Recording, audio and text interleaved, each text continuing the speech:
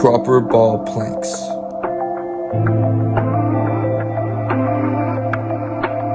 Begin with forearms on top of the ball. Squeeze glutes, thighs, and core tightly. Keep your shoulder blades down.